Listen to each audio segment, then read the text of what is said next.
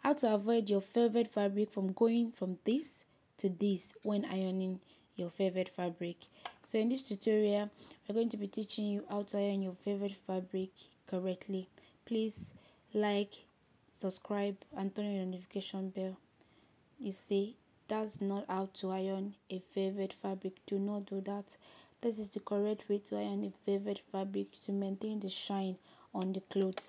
So you're going to place um a thin cloth or a lining on the fabric and use your steam iron. If you don't have a steam iron then use the um the method i used in the video.